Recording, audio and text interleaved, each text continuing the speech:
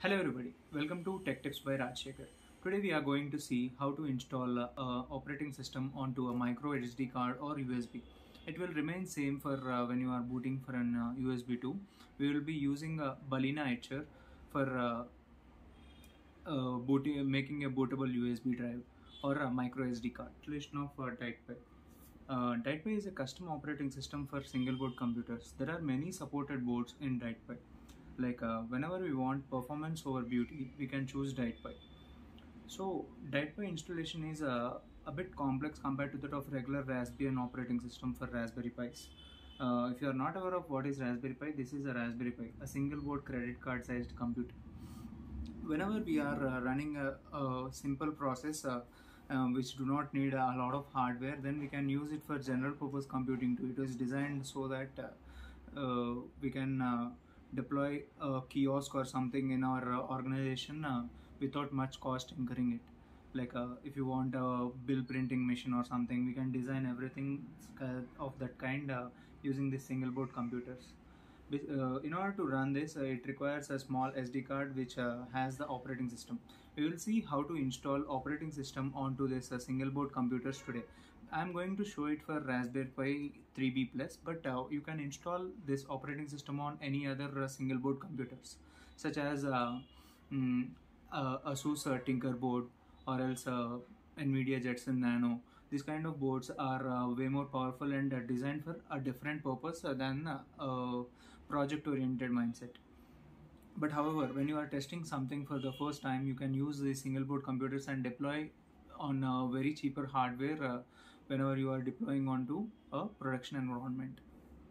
So get, let's get started and uh, we will see step by step how to install DietPi onto a micro SD card using a Linux uh, operating system. But uh, you can uh, do the same process for your Windows uh, machine too. It works on both and process remains almost same. So don't worry that I'm showing that on a Linux operating system. Let's get started. launch a browser um, okay first site is dietpi.com and this site uh, it uh, go to whichever board you have. I have Raspberry Pi. In this uh, I am selecting 64-bit operating system but you are running a different version of board. Uh, check with the hardware specifications and uh, go through that. Uh, where uh, you need to select a specific hardware architecture based on your board. I have a 64-bit uh, running hardware like Raspberry Pi 3B plus uh, ARM v8 version 64-bit is what I need to download. I have downloaded it. At once after uh, completing it, you need to download another piece of software which is called as Balena Etcher. You can search over Google for Balena Etcher. This is the one site uh, which can provide proper bootable software uh, or uh, you have a built-in uh, softwares in linux too for creating a startup disks. But uh, this is the one i prefer. It supports multiple uh, iso images uh, dot image formats and everything and it runs on any operating system. Besides to this linux uh, you can run it on other operating systems too. Well go here and select your desired operating system download it. I have both of them up and running on my system. Okay. Now i need to launch the Balena Etcher.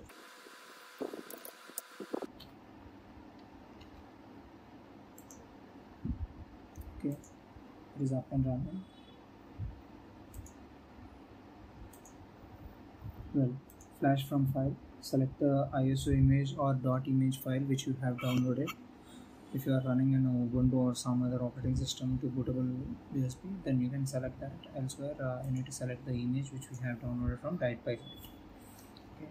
Iso image dietpi I am selecting Bullseye one. I have tried uh, booting LOU GUI made by DietPi organization, but uh, it didn't work properly. So I am going with Bullseye image. Okay. Open. I have selected this. Now we need to select the hardware, whether it might be a micro SD card or else a USB port. You need to select that. I am uh, selecting my device. Next, you need to press flash it will ask for password enter the password. That's it. Your USB drive will be ready in uh, one or two minutes. You need to wait and see. Once the flashing process completes you need to remove that uh, micro SD card and insert into your uh, Raspberry Pi or else uh, USB onto your computer to boot it from your usb or micro sd card depending upon your need I'm making this video for both uh, Raspberry Pi users and regular people who are want, willing to install operating system onto your system. For the first time it is a tricky thing. A lot of people don't know how to do that so this video might help you saving your time and giving you a lot of opportunity to learn. Okay done. Now we have completed the bootable uh, micro SD part. Now we need to insert it into Raspberry Pi and boot it. In the next part of the video you can find the how to configure this uh, Raspberry Pi uh, over SSH or else HDMI or TTL uh, I'm going to show only one of these methods uh, using RJ45 which is a very most common method of configuring a single board computer besides this there are two other methods uh, which are very easy uh, like HDMI one is a very easy one. TTL is a very rarely used one. Not everyone will have a TTL cable so I'm not going to cover that. But uh, uh, HDMI is easy to connect uh, so whatever uh, wirelessly we are configuring I will show in the second part of the video. Thanks for watching and subscribe to our channel for more such videos and uh, more knowledge about uh, electronics related subjects